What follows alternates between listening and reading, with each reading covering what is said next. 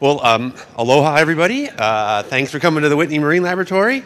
Uh, Happy New Year. This is the first uh, the, of the 2016 spring seminar series, and you're uh, lucky to be here. Uh, my name is Mark Martindale. I work here at the Whitney Lab, and it is my distinct pleasure to introduce uh, this evening's speaker.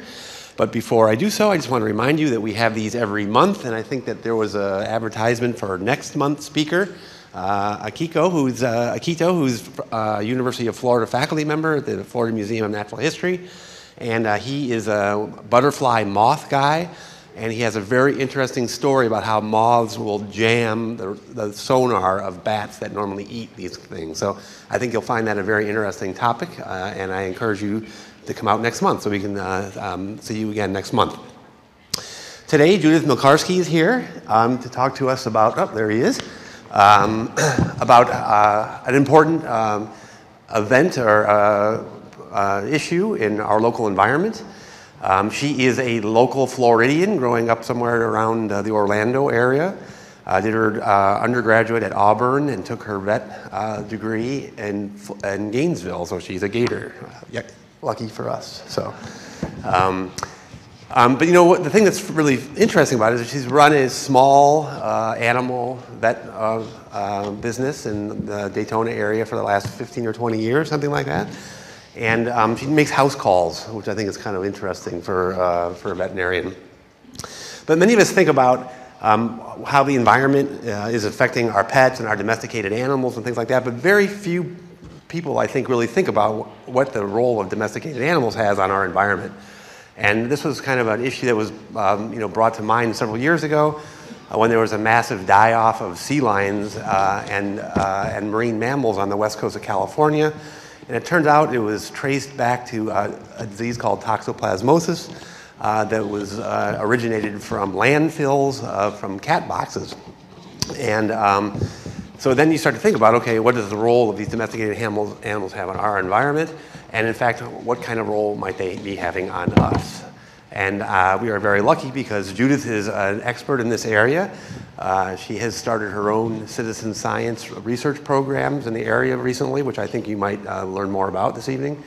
And I think it's a really uh, important uh, topic and subject. And I'm thrilled to be here to listen to it myself. And I will hope you will uh, join me in welcoming Judith this evening. Thank you very much.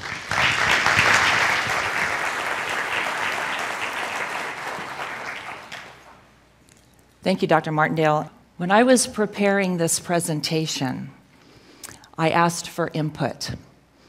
And more than one person advised me to progress with humor, which is a problem for me. Anyone who knows me will tell you that I am seriously not funny. And tonight, I am mad. Mad as in angry, because physicians at Johns Hopkins believe that a parasite found in cat poop is making people mad, mad as in insane. And the parasite I am talking about is called Toxoplasma gondii. How many people were aware of this parasite before they came here tonight? Oh, yes, thank you. Okay, would you, I'm trying to make you all experts on this in the next hour. Would you mind at least saying these, some of these words with me so that they're familiar to you? Can we say toxoplasma? Thank you. Gondii. Thank you. Um, there is only one genus and species of this parasite, many strains, but only one genus and species, and it comes in three forms. The form up here on the left is called oocyst. Can you say that with me? Thank you. Those, that's the form that's in cat feces. And by cat, I mean anything in order Felidae house cat, bobcat, puma, Eurasian lynx. All of the cats can carry this form in their intestines. This is the result of sexual reproduction in the cat intestine. The other forms up here on, on this side, tachyzoites. Can you say that with me? Thank you. That mean, tachy means fast. That's the rapidly dividing form. This is in um, what's in our system for about the first two weeks when we get infected, and this is the stage that we can affect with antibiotics. Below that is the bradyzoite. Can you say that with me? thank you. Brady means slow. That's the slowly reproducing form. So those tachyzoites convert to bradyzoites and back and forth. Um, there's about two to 2,000 bradyzoites within cysts within our tissues. If you are an endotherm, if you have warm blood, if you have feathers or fur, you can be infected with toxoplasma. That includes humans. Cats can get all three forms, all the rest of us with feathers and fur only get these other two. Does that make sense to everybody? And with regard to the bradyzoites, the form on the left is what it looks like without a stain, and the part on the right is what it looks like with a stain. Everybody with me so far? Okay, very good. All right, let's see.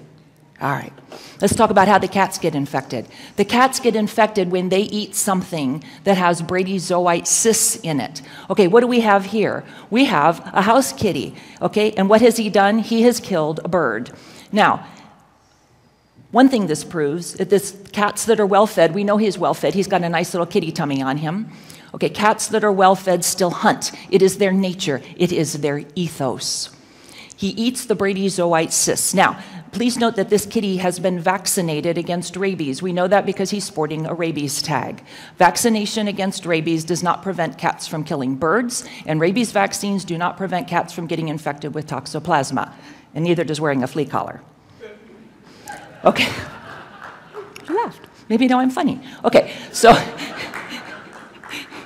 in the, um, I want you to think of the cat intestine as being an oocyst factory. And I'm keeping these little icons here to, so we keep track of what phase of the parasite is where, okay?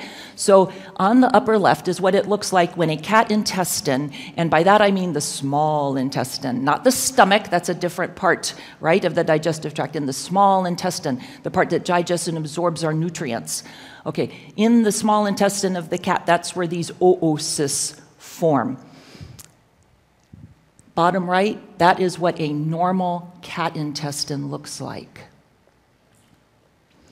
Okay, for grins, I took the feces of a cat that was known to me, that was a strictly indoor cat that was on a prepared diet, commercial diet, and I took those feces out of the litter box and I put them outside. I did check to make sure they didn't have parasites, just to be on the safe side. And I put them outside just to plot the disintegration of feces in the environment. Okay, Upper left, that's what it looks like, right? When it first comes out of the kitty and is in the litter box. Okay, note the little oocyst icon here, okay? Because if this had been infected with oocyst, this is what we would be seeing in the environment. Okay, next one is at 24 hours. Up here, top right, is what it looked like after a week. Please note that by two weeks, I had to go to macro. Three weeks, four weeks over here, four and a half weeks, you can see my shoe. I, I noted it with a little yard flag, okay? Out by five weeks. By six weeks, you, you couldn't even tell if you were down on the ground. But those oocysts, those are infectious in the environment for at least 18 months. Okay, this is why we're worried about this. Statistically, one in 110 people has schizophrenia. This is the most devastating of the mental illnesses, the hallmark of which is hearing voices. Now, we have students here from three different high schools tonight. Um, Spruce Creek High School, the senior class has 593 students in it. Flagler Palm Coast has 500. Matanzas has about half that. Statistically, we can expect that the future will hold that 12 students from the senior classes of those three high schools will eventually develop schizophrenia. If they are men, they'll start to develop symptoms somewhere between 17 and 24, the women a little later, between 22 and 35. Okay, here's what we're worried about. This parasite increases the risk of developing schizophrenia. Now, it is possible that you can be positive for toxoplasma and not develop schizophrenia. Everybody with me on that? Okay. But if you have toxoplasmosis, the risk of schizophrenia increases. Now, I was involved with feral cats and rabies as a part of a four veterinarian committee in Volusia County going back over a decade ago. Rabies was my wheelhouse. Rabies was my comfort zone. In order to enter the dialogue on toxoplasma and schizophrenia, I had to convince myself of several things, and I'm going to give you a couple minutes with this. Can you read this okay?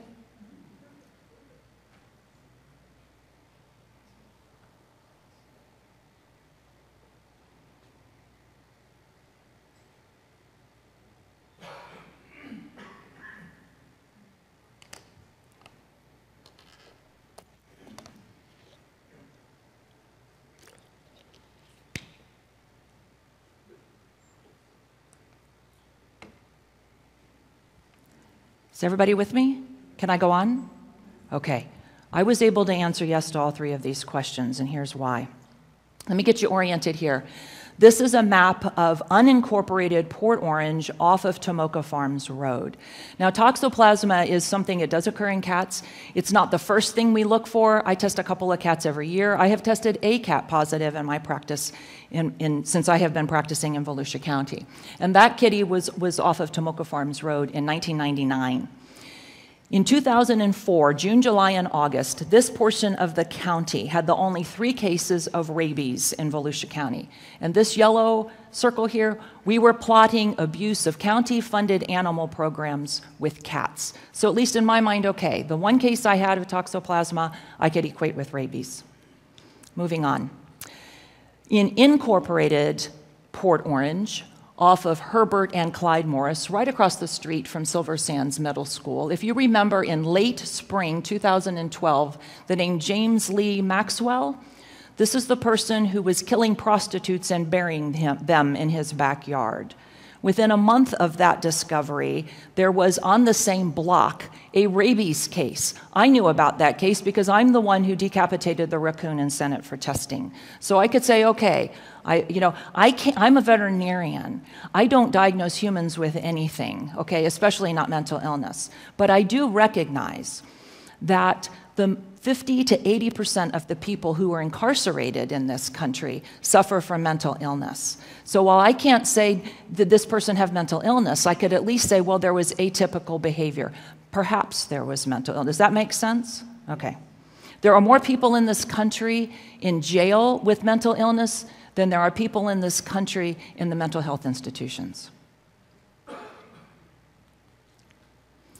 Okay, let me give you the scenario. It is a Friday night at 10 minutes after 6 o'clock in the evening in August. The next week, school starts. And I am in a client's kitchen, and I have just finished the vaccinations and exams for her cats, and I'm documenting, doing my little kitty diatribe in the record. And my client is an elementary school teacher.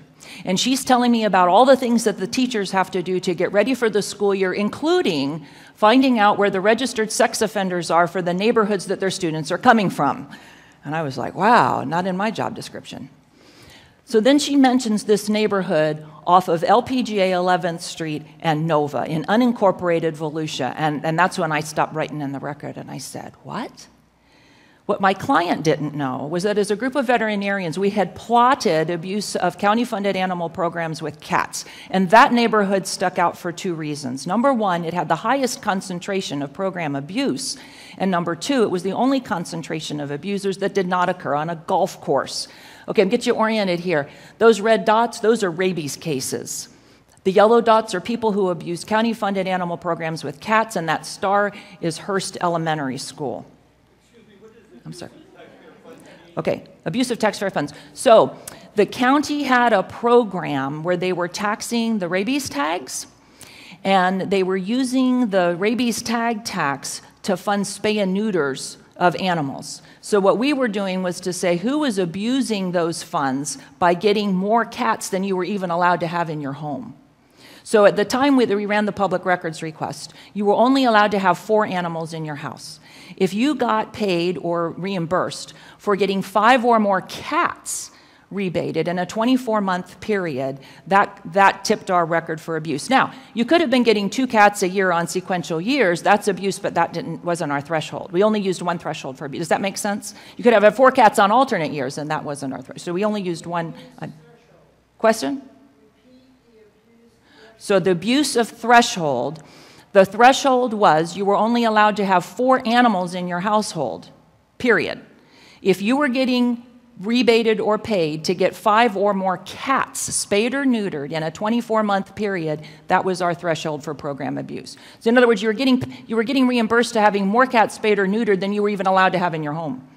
Does that make sense now? Okay, cool. Okay, so if we superimpose those two, this is what we came up with. Now, this was disturbing.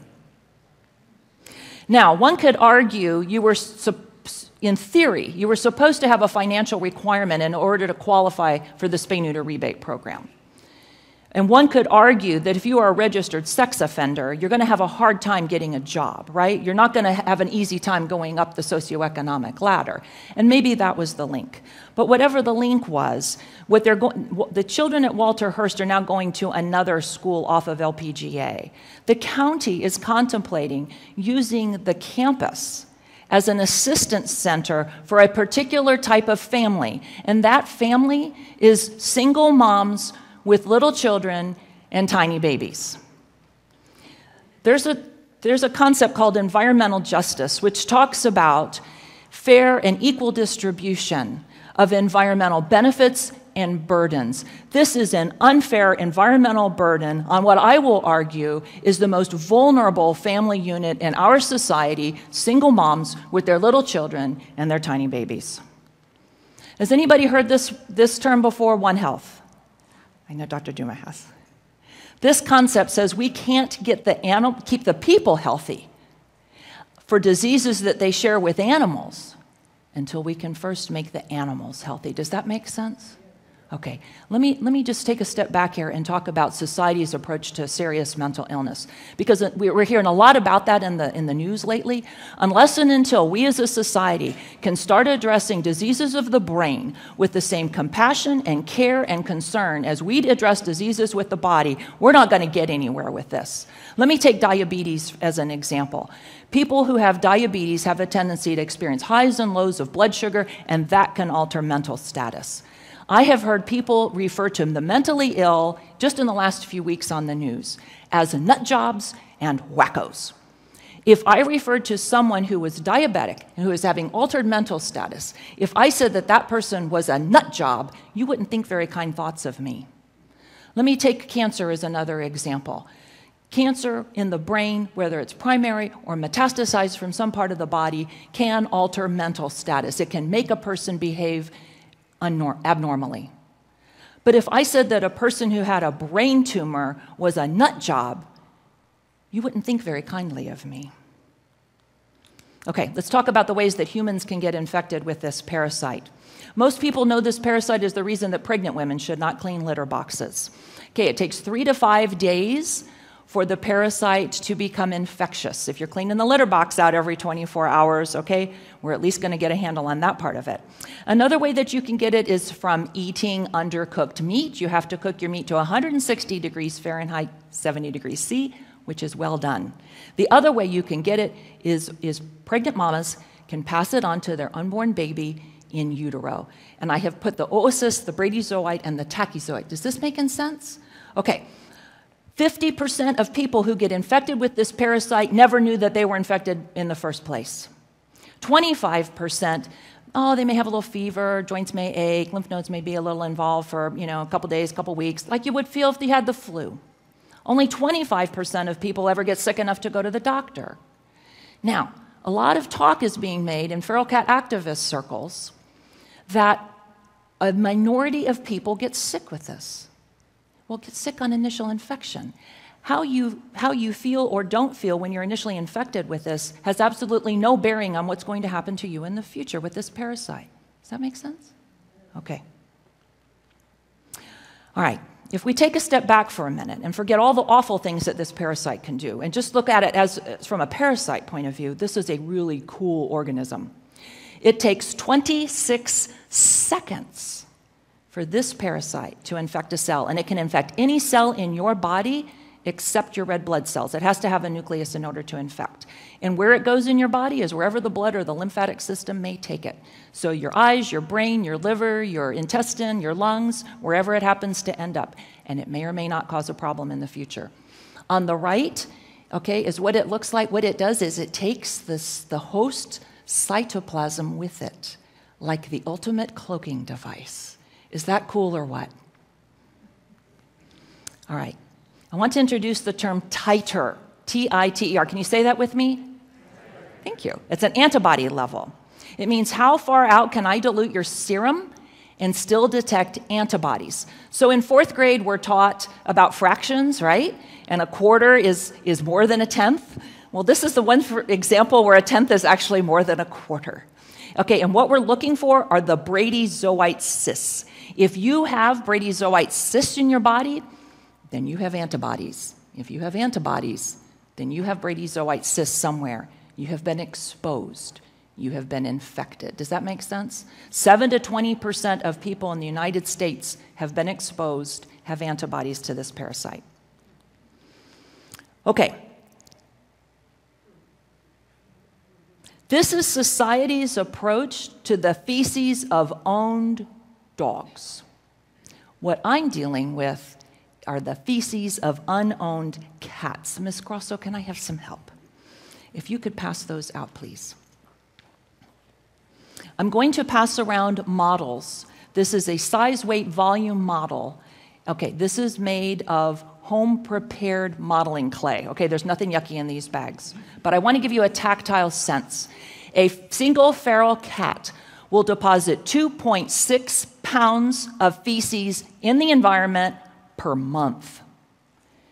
I'm not going to pass this one around, I'm just going to show it to you. That translates to 32 pounds of feces per feral cat per year in the environment. Okay, how many feral cats do we have? Average 9 point, estimated 9.6 million owned cats in the state of Florida, and they estimate an equal number 9.6 million feral cats in the state of Florida. That's a lot of cat poop. Everybody with me? All right. Okay, let's talk about these oocysts. You can get them from the litter box. You can, if the cat's eating raw things.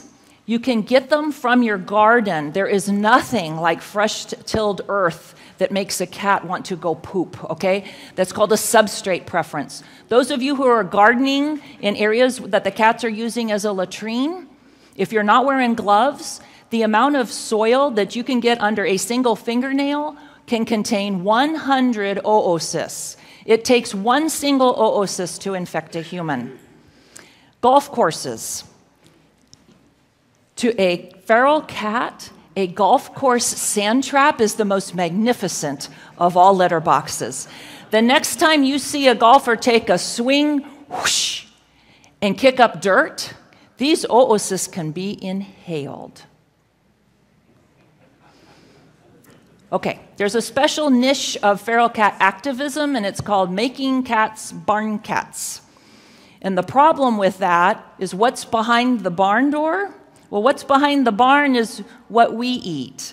This is a graphic representation of how likely you are to get infected with Toxoplasma gondii by eating respective animal meat if you don't cook it thoroughly enough. And I've, I've put the Bradyzoite cyst icon down there to remind us what we're doing. And down here in, in the lower left corner, I have made that little kitty as close to poop brown in color as I could to remind us because what's happening? The cats are out there eating the mice and rats, right? They're doing their cat thing. They're pooping in the hay. The animals we eat are eating the hay, and then we eat the animals. Do you see how the life cycle gets completed there? Okay. All right, true or false?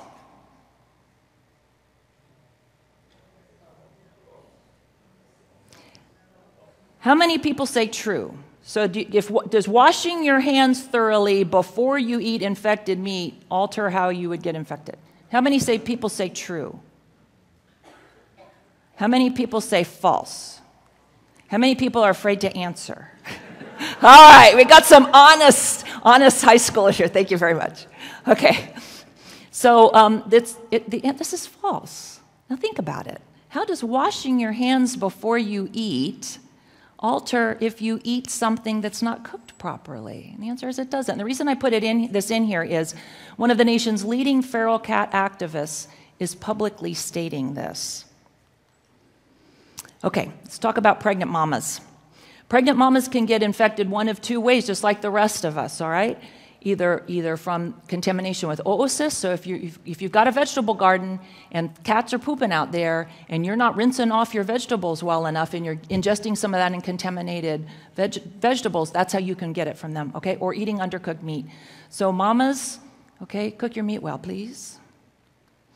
All right, one of the problems that we have with um, pregnant women and what they can pass on to their babies is that the babies very often have visual deficits. In addition, you don't have to be a, a, baby inside your mama's womb to have, to have this parasite get in your eyes.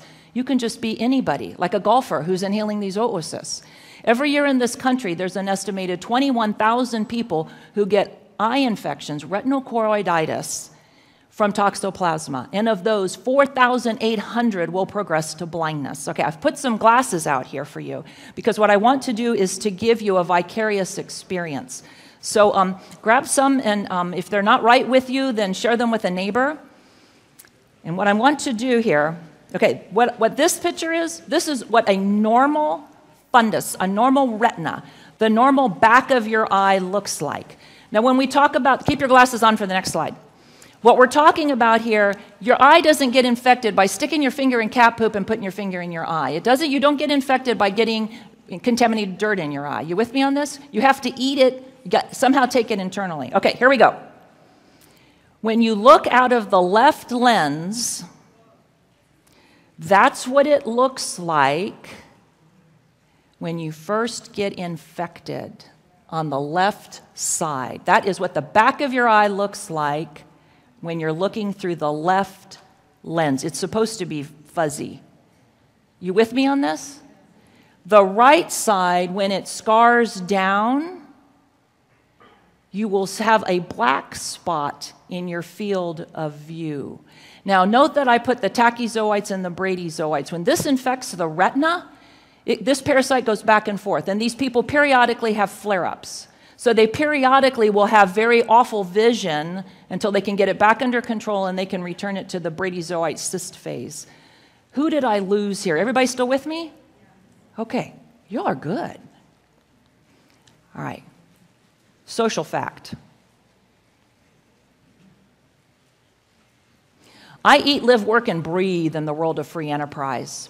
If something I was doing as a veterinarian was causing schizophrenia or blindness, especially in children, every agency that licenses me would have me strung up by my toenails.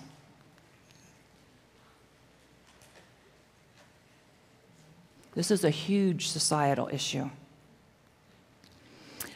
Okay, I'll change of pace. This came to me a few months ago as an email. And from Paraguay, my friends, was the subject line. Now, I was a Latin nerd in high school, so I don't know Spanish.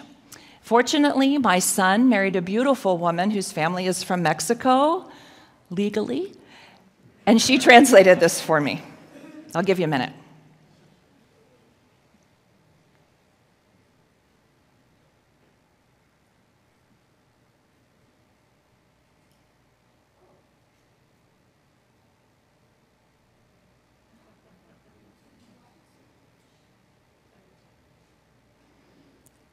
Can I go on? Okay. Now, the first part of this makes sense, right? The next part, and this has gone, come into our country, and there are this, there's this discussion in feral cat activist circles about eating cat poop. Who does that? They talk about it like it's an exotic dining experience. Okay, there is a saying that to every rumor is an element of truth. And in this situation, here's the element it's when the wee ones discover the pet doors. Now, what's on this side of that plexiglass is a litter box. And if you're this child's mama, what are you likely to say? Not my baby girl, right? So let's talk about. All right, we don't want little children in the cat box regardless, right? And we especially don't want them dabbling in the dew. But what if this child came in contact with cat poop and then licked her fingers? What, how can we know that this child would not be infected with toxoplasma? Well, one thing we know is if we're cleaning the litter box every 24 hours, it hasn't been out of the cat long enough to be infectious, right? And the other thing is, what is the cat eating? Is the cat eating anything raw? So if the cat is strictly indoors and the cat is not going outside to hunt, he's not coming in contact with the parasite outside. If the owner is feeding the cat a prepared cooked ration and the owner is not feeding a raw food diet, which has seen a resurgence in interest in the last 10 years, then the cat is not going to be infected. Does that make sense? So we don't want the little people in the box, but if it happens, okay. All right, true or false?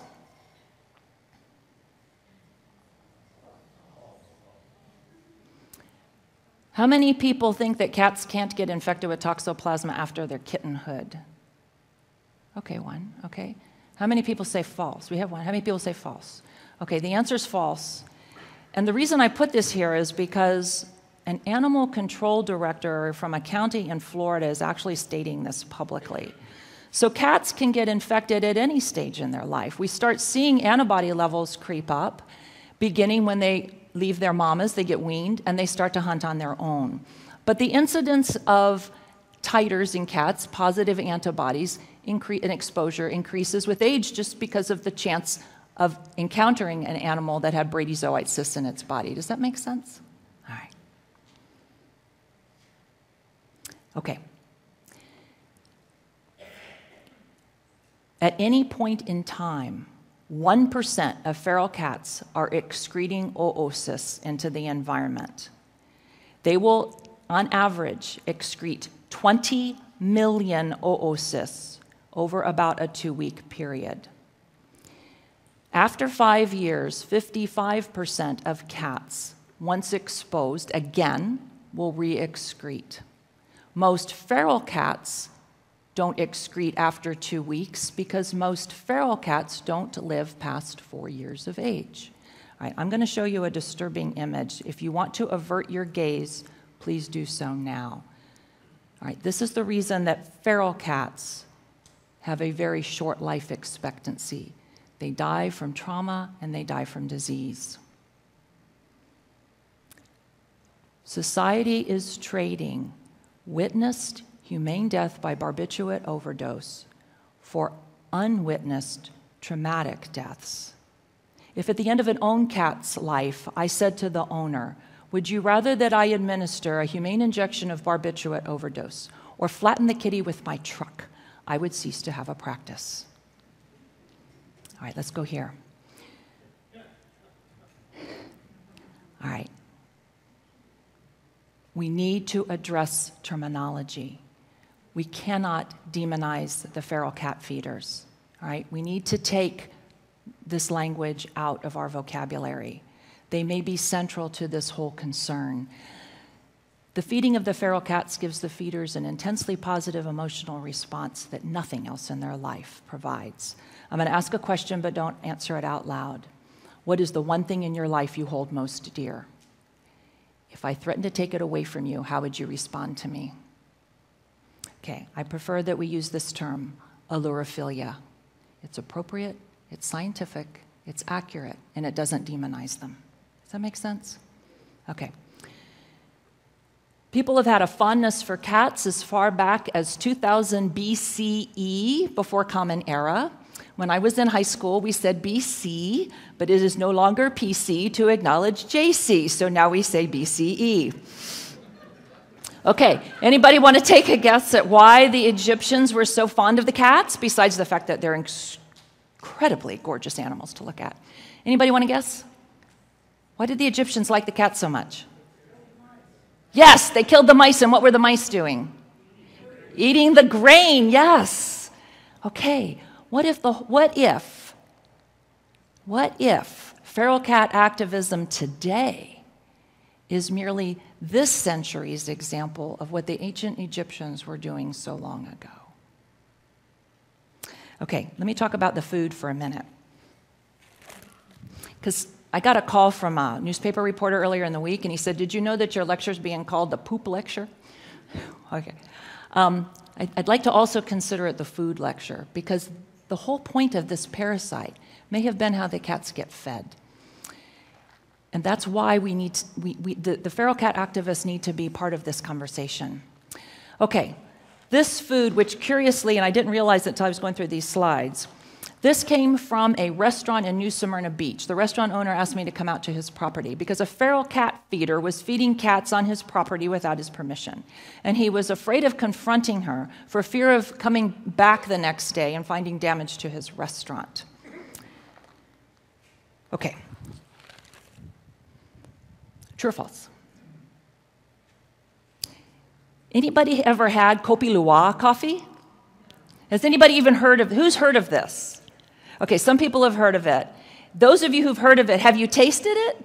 No, huh? no tasters yet. Okay, let me share this with you. Kopi Luwak coffee. It comes from Indonesia, like the island of Java. And these civet cats, in particular the common palm civet, they live in the forest. And these cats sneak out of the forest and they come onto the coffee plantations and they eat the berries at the perfect stage of ripeness.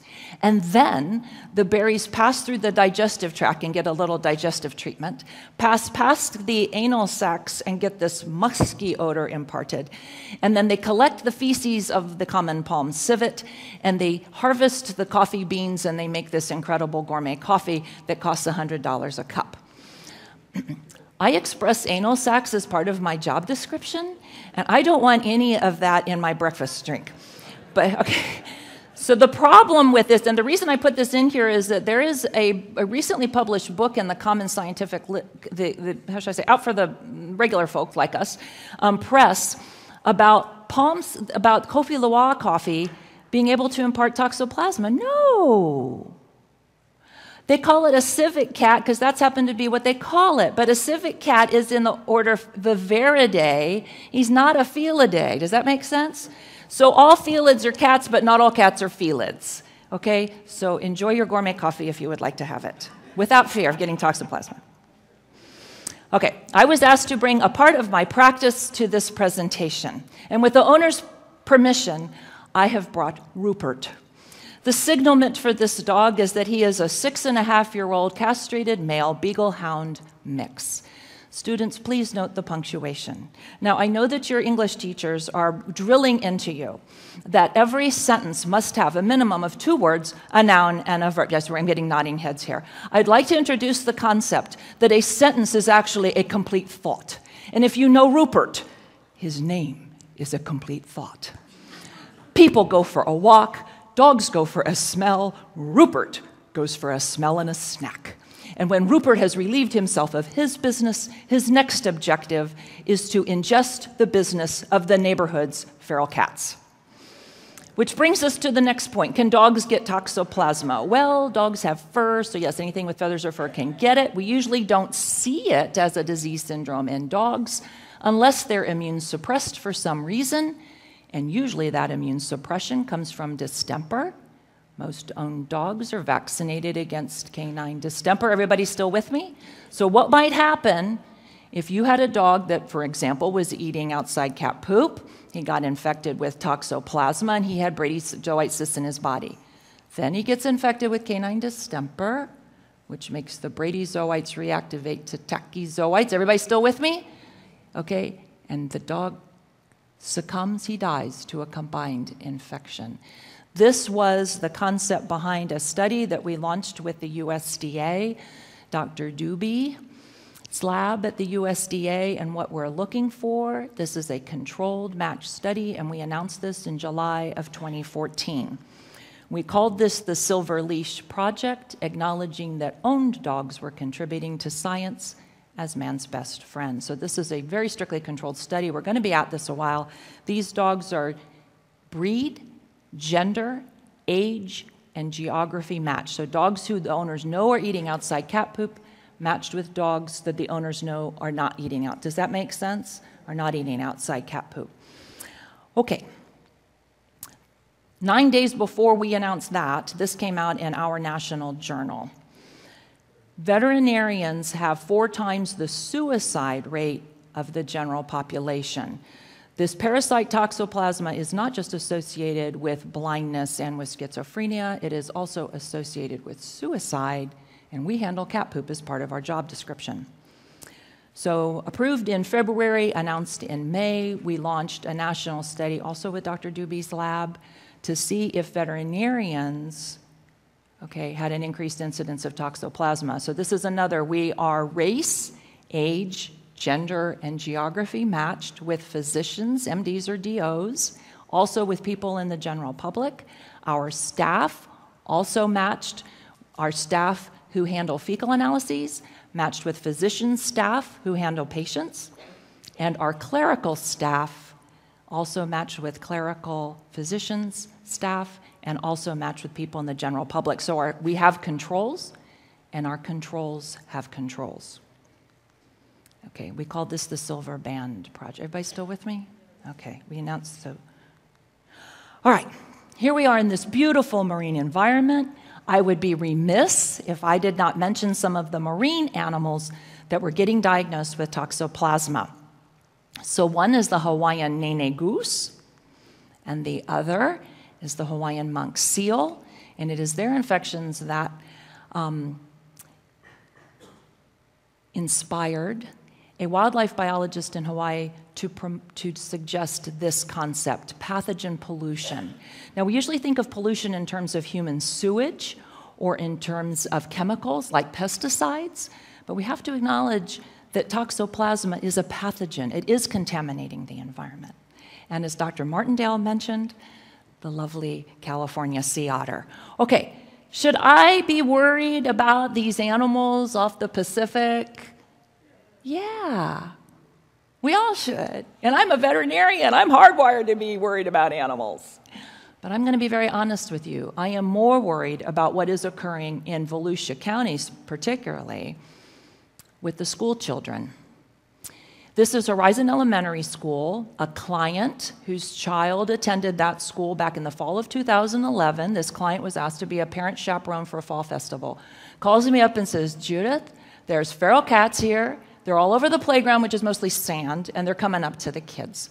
I met with the principal. I went back to the school um, after hours. And you, can you see the little kitty here walking in and out? The, the hardware is absolutely no obstacle to these cats. They come on and off the campus at will. Upper left, that parking area under the pine straw, on two separate occasions, I picked up a total of 11 fecal samples, of which nine were infected with hookworms, another parasite in cat feces that cats can pass on to humans.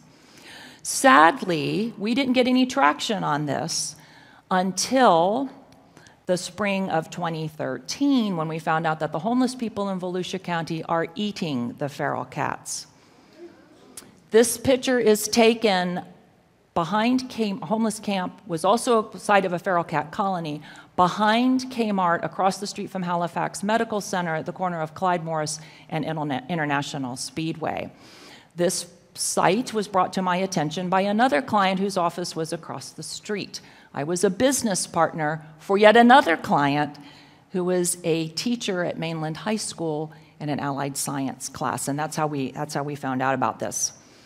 I have permission to show this. This is a slide that demonstrates the locations of the homeless camps in West Volusia County.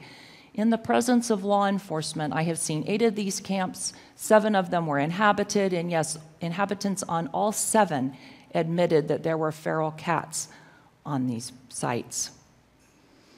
I thought I was going to get a groundswell of support for the dire condition that the homeless people were in over this and nothing could have been farther from the truth. We have over 25 organizations in Volusia County that look after the needs of the homeless. A couple of them gave me the rah rah, yes, yes, we need to get this out. The rest of them, mm-mm. I'm going to paraphrase here. To some members of society, the homeless people are icky.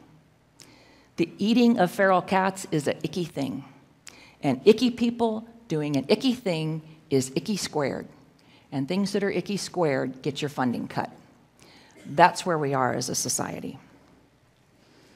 Okay, researchers at the University of Arizona have very kindly allowed me to share this. This is confocal imaging of toxoplasma cyst. Okay, upper left, you can see this, this is a bradyzoite cyst in a mouse brain. This is way out in the neuronal process, proving that these cysts don't need to be right up next to the nucleus. In this case, it was 149 micrometers away. You could have stacked 24 red cells side by side by side between this cyst and the neuron and what we're neuron cell body. And what we're finding is not only does this parasite affect the cells that it's in, when it's in the brain, it affects all the other brain cells in the immediate vicinity. Okay. What if Dr. Torrey and Dr. Yolken at Johns Hopkins are wrong? And that feels very awkward rolling off of my tongue.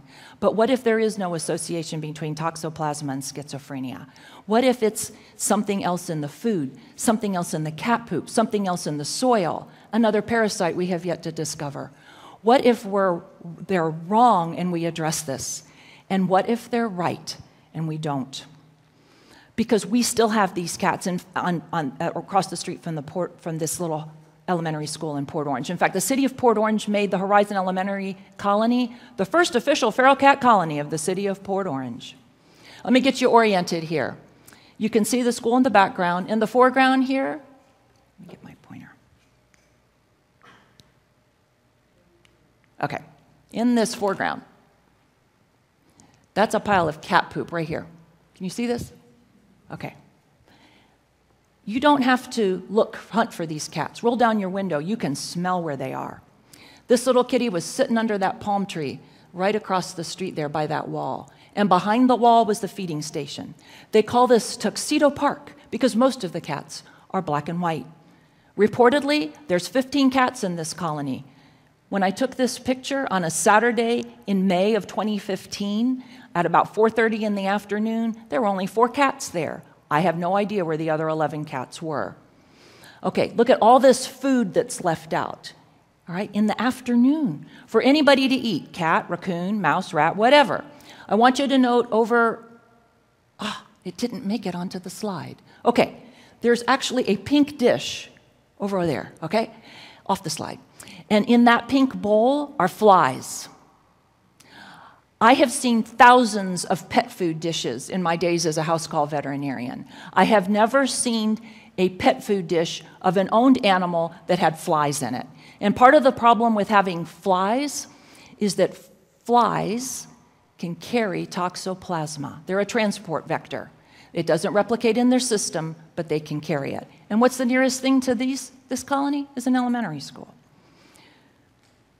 Okay, if there is an association between toxoplasma and schizophrenia, of course, I'm worried about elementary students, and there may, we don't know at this point.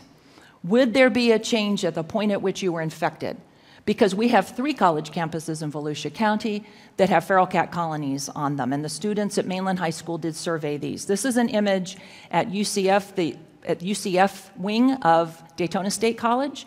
Again, this is mid morning, and look at that full bowl of food. If you look straight through that to the parking area, you would see this a spinal column with a tail attached, thus proving once again that well fed cats still hunt. Okay, Bethune Cookman. This is a tradition. The feral cat colonies there are a tradition. This, is, this picture here is taken outside of one of the dorms. You can see a rodent bait trap where that trowel is. We weren't just finding cat feces, we were, we were also finding rodent pinworms. And I'm sure you're going to say, well, wait a minute. If the cats are around, why were the rodents still around? Rodents that are infected with toxoplasma find the aroma of cat urine alluring. They're not afraid of cats if they're infected with toxoplasma. The smell of cat urine gives them a positive sexual response. Okay, and this is a photograph outside the founder's home. This is an image taken from the Embry-Riddle campus. The maintenance, the head of maintenance, knew right where to tell us to survey because the groundskeepers were complaining that when they were weeding certain areas, they were encountering feral cat poop. Now, I want you to look at this building and I want you to look at this bird. So we were underneath this philodendron. Here we go. Okay, on this side of the philodendron. We had a student with us that day who was cleaning cages on weekends for one of the rescue organizations, who exclaims, sees this dead bird, and says, Window strike! And I said, Hang on a minute. There was a sidewalk over here. That meant the bird hit the window, meant the bird hit the window, bounced all the way over here, okay, came underneath this philodendron. I picked the, so this is how we found the bird. I picked it up, and there were puncture wounds on the other side of its neck. This sad little cuckoo. There's a saying that if we change the way we look at things, the things we look at will change. It took this three year old little fella all of three minutes to figure these seagulls out. He wanted so badly to offer them a piece of bread, and he kept chasing them. And within three minutes, he figured out if he just stood there, the birds would come to him. I'm going to close out by sharing with you the birds in our part of the world who have tested positive for toxoplasma. And I'm going to begin with the ring billed gull also the laughing gull, the northern mockingbird, our state bird, this one a victim of cat predation, the American robin, American crow. Remember what I said about flies being able to be transport vectors? Earthworms do the same thing. The parasite doesn't replicate in the earthworm, but the earthworm can carry it from one part of the ground to another. And when the birds get it, that's one way that they can get infected. Okay, also the coot. Coots are exclusively water birds. Here's this cat getting this water bird. Okay, what the cat eats, the cat will poop. If it's eating a water bird and it's pooping near the water, and we've got water runoff of Toxoplasma oocyst, that's how other animals are getting infected. Okay, again, red winged blackbird, wood duck, cattle egret, and owls. Great horned owl, okay. 25% of owls in this country, when surveyed, survey test positive for toxoplasma. Owls tend to be resistant to the disease aspect, so they tend not to get sick with it. Please note that the, what these owls are hunting. Owls are native predators, cats are non native predators. Barred owl, I liked this picture because this to me is what hunger looks like. And people have said to me, well, why don't you just explain to the homeless people that they shouldn't eat the feral cats because it may give them a mental illness in who knows how many years, six or seven years down the road. Hunger is a need that requires satiation right this moment. Okay, for a homeless person, seven years in the future just doesn't exist for them. Barn owl, rock pigeons. Rock pigeons are a species of least concern. That said, they are one of the most susceptible species to toxoplasma. 10 oocysts is a fatal dose for a rock pigeon. It causes an intensive intestinal inflammation. Turkey vultures. An interesting thing about this parasite, those bradyzoite cysts, those remain infectious after the carcass has liquefied and autolyzed wild turkeys, into the raptors, the kestrel, Cooper's hawk. This photographer was very kind, offered me a, a, number of pictures to choose from, and I chose this one because this is how I usually see this bird. These birds are death on the wing, and they are, they're usually a blur. And their preferred food are songbirds, which that's kind of hard for, for, for those of us who really love birds to think birds eating birds, but that's what they do. These are native predators. Cats are non native predators. Red shouldered hawk, red tailed hawk, and the bald eagle. Toxoplasma gondii causes inflammation of the heart, fatal myocarditis in our nation's symbol. If we change the way we look at things, the things we look at will change. Let us change the way we look at mental illness and let us change the way we look at outside cats. I'd like to thank Dr. Dubey for his support for these studies, also for my colleague in Wisconsin. Were it not for her, the, the canine study wouldn't have come to fruition, and the human study was her idea. All of these entities and people were instrumental. Were it not for a single one of every one of them, I wouldn't be here tonight. And I hope that I got the point across that this concern has been client driven, and I am immensely gra- grateful to my clients. Thank you all for being here. I'm grateful and I welcome your questions.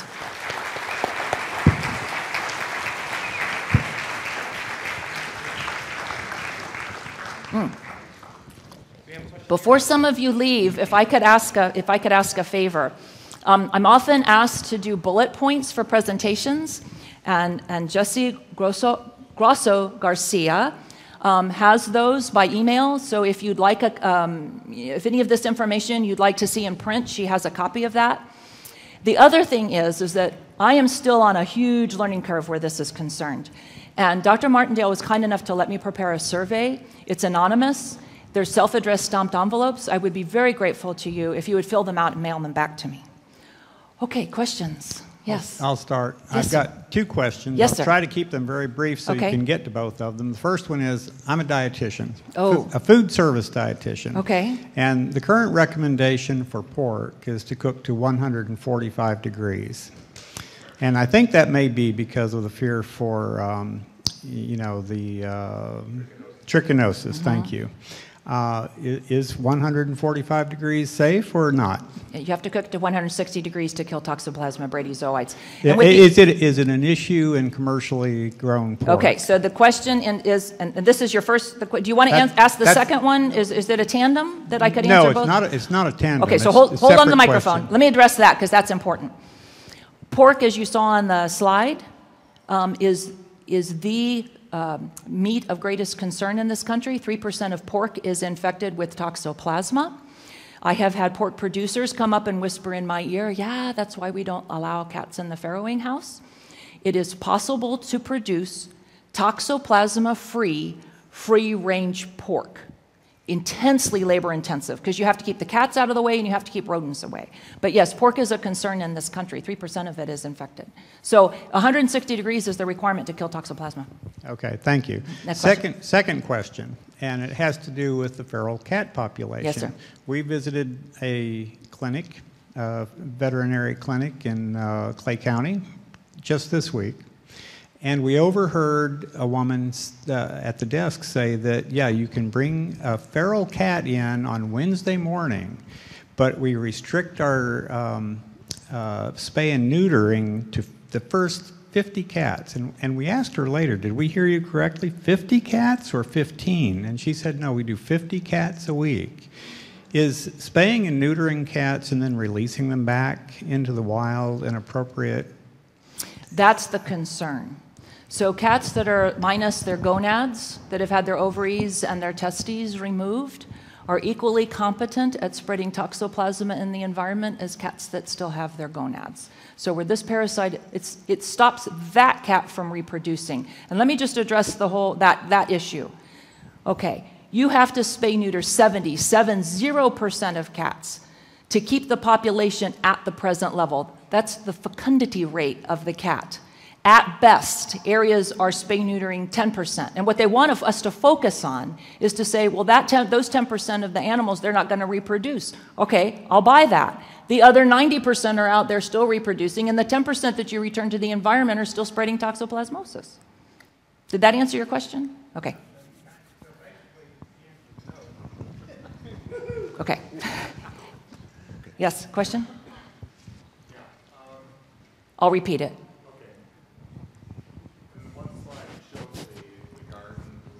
Uh-huh. In the one slide, you showed the garden with the uh, cat feces around the plants. Now, does that to toxoplasma gondii, gondii? Gondii? Gondii. Say it with me, gondii. Gondii. Thank you.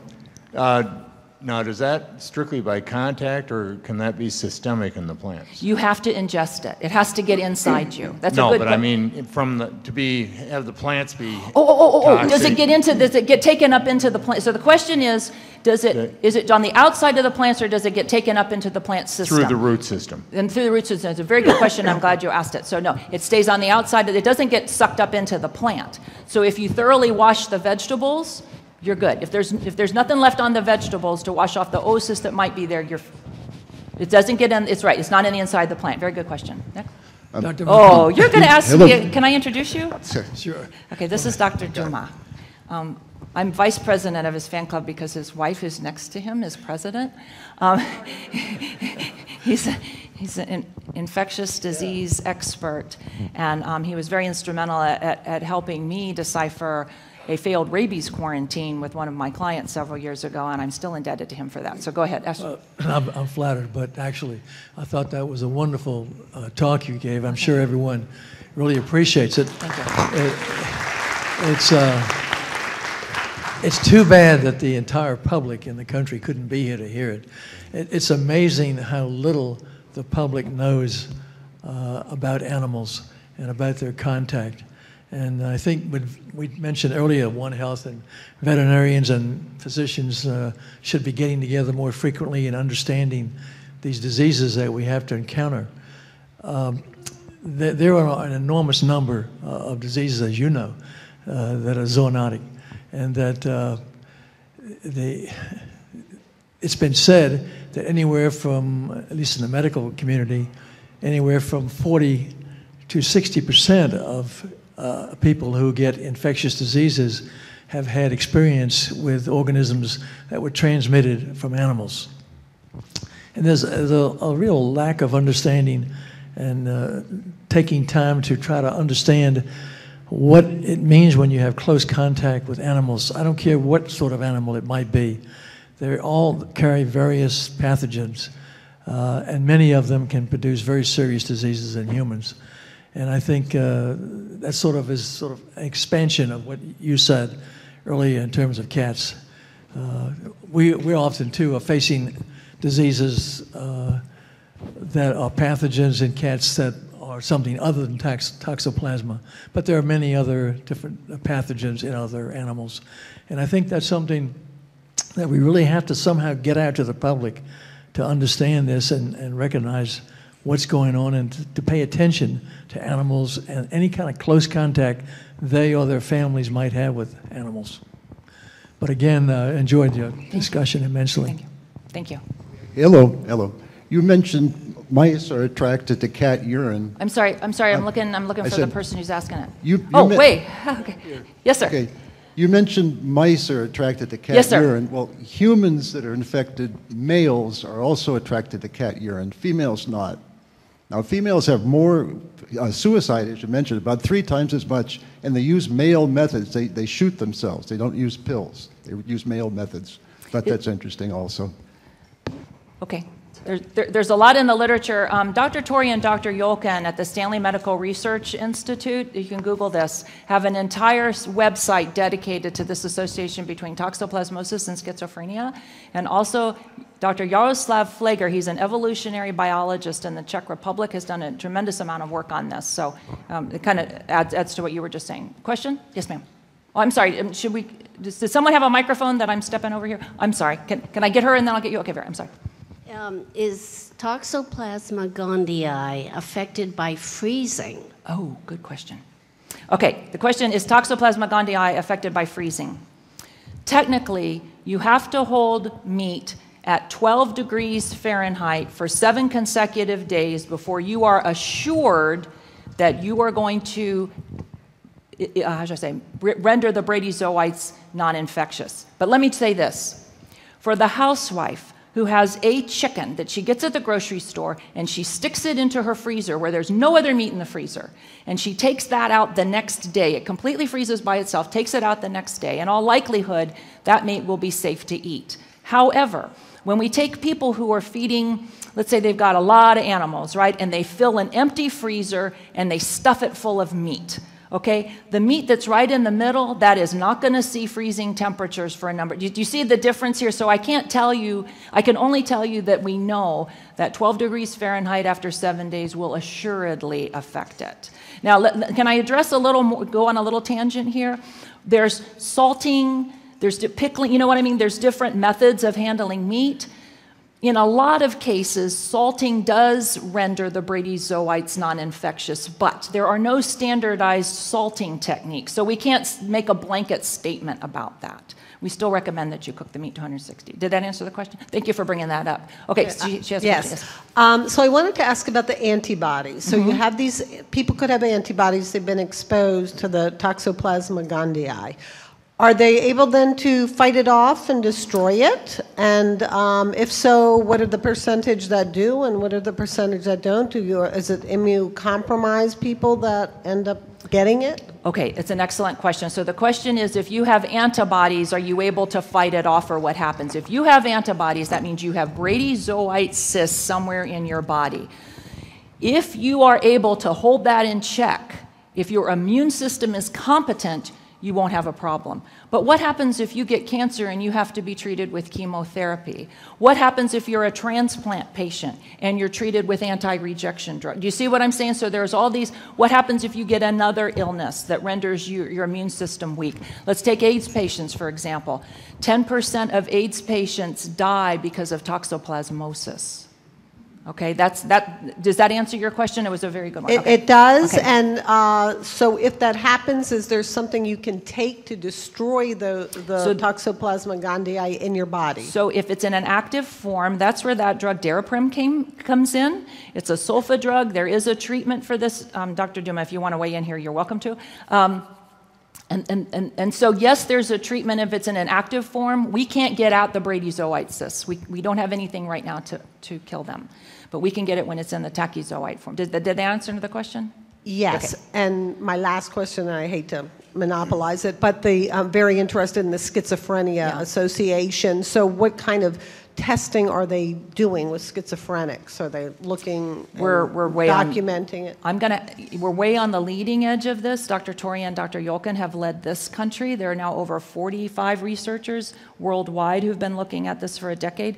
So the evidence is, is building for that. Um, it's, the, the issue is, is that the temporal relationship. So let's take rabies, for example. Most people know, okay, with the exception of bats, but most people, let's say you got bitten by a raccoon or a feral cat, okay, you would know when you got bitten, right? And within two weeks, roughly, okay, it could be 18 months, but it's a time factor. You know that you're going to develop symptoms, okay? It's, it's farther out with that with toxoplasma and schizophrenia, okay? The temporal relationship. And then you have this whole thing about eating meat. Do you see what I'm saying? So while it all originated from cat feces, where you got it, you can't be sure. Okay, does that make sense? Okay. Thank Next- you. Next question? Okay, yes? Do I, uh, can you, can you hear me? Yes. Um, if, we, if you have a dog that is well managed with their health, like Okay. a, a year-old puppy or whatever, Right. and then you have a new baby come into the house, is it detrimental for that puppy to be in the face of that new baby? Are we talking about with respect to toxoplasma? No, with anything. With, Oh. I mean, because I thought like like um, my the pediatricians and veterinarians say that you can't transfer between species anything that the dog has if they're licking the baby. Or, so I didn't know if that's safe or not for. The question is about, right, so you've mentioned dogs, so I have part A and part B to answers to that. Okay, dogs use their tongue as toilet paper. Okay, so I, I really, I mean, while as sweet as it is to get kissed by a dog, I really don't recommend that, especially for, for babies and small children. Okay, number two, about dogs and toxoplasma. The parasite does not replicate in the dog intestine, but the dog can act as a transport host. So it passes through the dog's system. So a dog who it may live in a fenced-in yard can be out, you know, on, on for walks, eating feral cat poop, come in and transplant that parasite and contaminate his family's yard. Does that make sense? Okay, it doesn't replicate in the dog intestine, but the dog can act as a transport host. Thank you. Did I answer your question? Yes. Okay, thank you. It was a good one. Who's next? Yes, sir. Is this more of a problem of, of temperate climates? Oh. That's a good question. Is this more of a problem of temperate climates? So we do find toxoplasma on all seven continents on the planet. Um, that said, we tend to see more diseases, and Dr. Duma may, may in here, um, in, in, in the, how should I say, more temperate zones. So let me, let me just address South America here and, and where we are in Florida. So we have three strains of toxoplasma in the United States and less than 3% of people who get infected develop eye disease. In South America, there's over 20 strains of the parasite. They occur concurrently, and upwards of 30% of the people who get infected develop eye lesions. The concern for Florida is our proximity to South America. And the worry is if we start seeing some of these strains come in north, Florida is going to be the first state to um, recognize that. Did I answer your question? Well, no, I, I was thinking, you know, in a colder climate, there will be fewer cats. Well, and there will be less. Well, to your, to your, que- yes. So, do you want to answer this, Dr. Duma? I, I didn't quite get He, the, the, question is, if you were in a colder climate, would you see less incidence of toxoplasma than if you were in a warmer climate? I, I would suspect not, quite honestly. I, I think it would, uh, it would depend. There are a lot of warm bodies around, there are a lot of warm animals around. Uh, they're not all dying just because of the temperature where they might be. But again, in, in the very cold areas, you're going to have many people and many animals close together. Okay. Uh, this is a very common event in Alaska and places of that sort. Okay. People don't just uh, ignore having an animal, either a cat or a dog or whatever, sleeping with them, and they're all over the place. So I, I- I just don't think it is that important. Um, to your to your points, thank you. To your point, sir, this is one of the questions we hope to answer in the veterinary human study because we are tracking these people both from birth to age 10 and also where they spent more than half of their time since age 21. So we are hoping that when we get a, look at the big picture, will we see a difference in incidence for people who lived in the northern parts of the country versus people who lived this. But it's a, it's a good question and, and, and one we are addressing. Anybody else? Yes? Uh huh. Um, you said that toxoplasma um, grows in the small intestine. Yes. And then you were talking about how sometimes it'll appear in the eyes or in the brain cells. Yes. But when you said that it can't travel through red blood cells, Yes. how would it travel up to your eyes or to your brain? through, through the blood or lymphatic. So the question is, how does it get there? If it, if it, if it developed in the cat, and so you, you swallow it, it goes, it migrates through the small intestine and gets picked up by the blood or the, or the lymphatics. Or it may travel, just like creepy, creepy, creepy, into another organ in the abdominal cavity. So then it also like affects your whole body basically when It it, travels. It can go in anywhere your blood or lymph can go, toxoplasma can get taken there. So anything that you could eat, any sys- organ that you could eat, has the potential to be infected with toxoplasma. It's a good question. Did I answer your question? Okay. Yes. Uh, you know, there was a, the question came up. Oh, I'm about- sorry. I- About, I'm sorry about the. The drugs. gentleman in blue. I'm sorry. Go ahead. What about the drugs that might be used? Uh, pyrimethamine, sulfadiazine, are drugs that are often used and occasionally clindamycin. And with someone with HIV uh, or some profound immune suppressive problem, uh, they're just not going to survive. They're going to have to take those drugs continuously forever. And many times those drugs are associated with a number of adverse effects. And when you get to uh, to infants and uh, children of that sort, you, you really bump into a lot of problems. You can't handle this disease very easily. It doesn't always simply uh, uh, get uh, responded. Rather, uh, uh, when, when you have to use these drugs, uh, even though you would hope that the disease would be cleared up right away, not always the case at all. That, that speaks to your question. Okay. Thank you. Thank you. The gentleman in blue. Yes, sir. Yes. Do mosquitoes play any role in the spread of toxoplasma? So the question is, do mosquitoes play a role in the spread of toxoplasma? We don't think so. That's a good question. But let me just address this. Um, blood transfusions, there's, there's a question mark. And organ transplants, the recommendation, okay, so they're supposed to send a vial of blood to test for toxoplasma. That's the recommendation. But there is no requirement on the receiving end. So if you are in a time crunch and they have to get that organ into the recipient, they're going to they're going to go ahead and, and give them the transplant without testing. Does that make sense? So, to your question about immune suppression, there's two problems with regards to people who are getting organ transplants.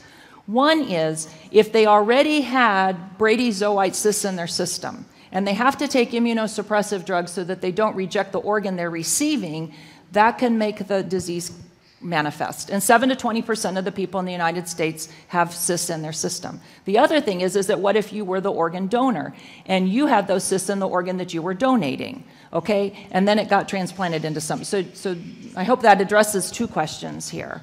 Okay. So a concern, yes, we're not sure how much. Uh, once a person gets infected and uh, they show some symptoms, they? Uh, I'm sorry, who's I'm, I'm losing Oh, there we are. Thank you. Thank Do, you. do they have a problem when they go to their internist or the eye person or whatever to get misdiagnosed? I'm sorry. I'm not sure if I understand I'm wondering question. if they, once you've developed symptoms, you get sick because you've been infected with it.